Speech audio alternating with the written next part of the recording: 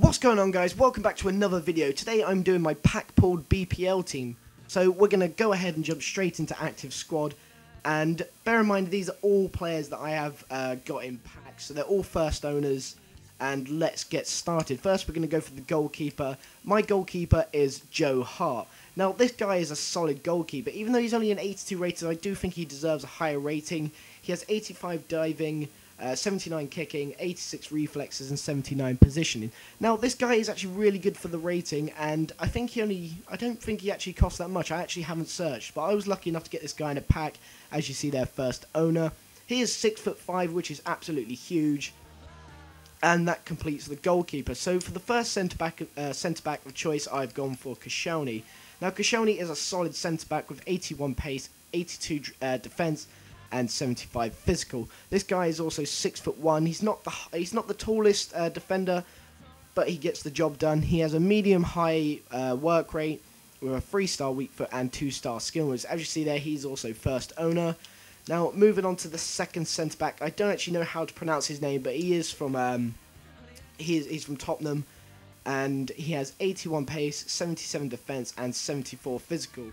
He's six foot with a high, high work rate, which for me, I don't really like a high, high work rate. I like them more of a medium high or low high because I like my defenders to stay back and um, defend the goal. If they have a high uh, attack rate, they usually tend to run up the pitch and leave holes in your defense.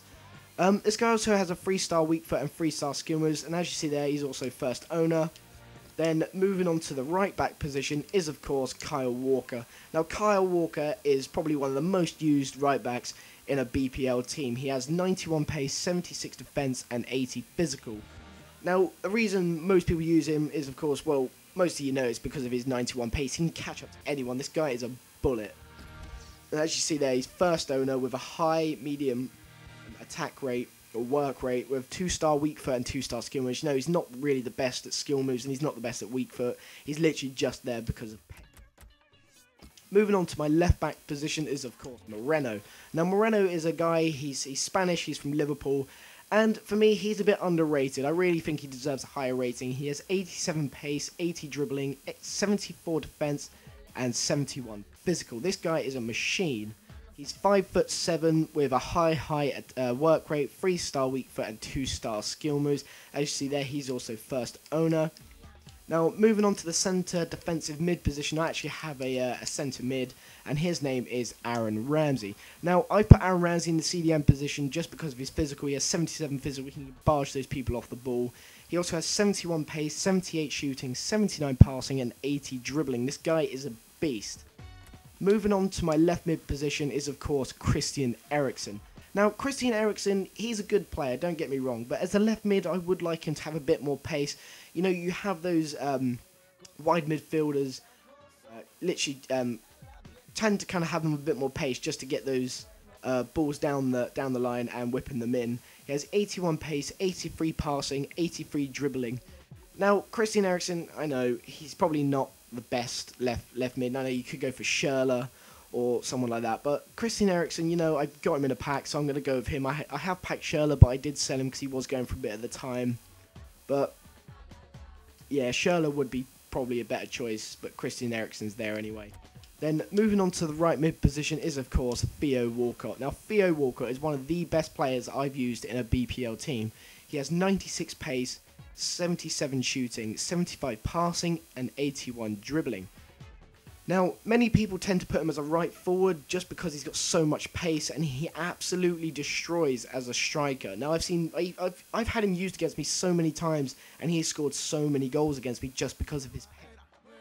Then, moving on to the cam position, I do have Ozil. Now, I was lucky enough to get him in a pack. He's not really going for much, but hey, it's Ozil. He's 86 rated, which is pretty decent. He has 75 pace, 86 passing, 87 dribbling, and he has 4 star skill moves. For me, for a cam, that is really good. You need a cam to have quite high skill moves to get around uh, the defenders. As you can see, first owner, he's 6 foot with medium low work rate. Then moving on to my first striker is, of course, where is he? There he is, the man, Lukaku. 84 pace, 80 shooting, 75 dribbling, and 81 physical. This guy is a monster. that 81 physical, he can shove any defender off the ball. It is ridiculous. And he's also 6 foot 3 with 84 pace. That is just incredible. As you see there, first owner, he's got 4 star weak foot and 3 star skill moves. Then moving on to my other striker. Not many people use him, but his name is Shane Long. Um, I got him in a pack. I got the informed Shane Long in a pack, as you see there, first owner. Um, he has 85 pace, 79 shooting, 75 dribbling, and 83 physical. This guy has so much strength, it's ridiculous. 85 pace as well. He can just, he's so, for me, he hasn't scored any goals for me in three games, but for me, I really, really love Shane Long. He's so good up front.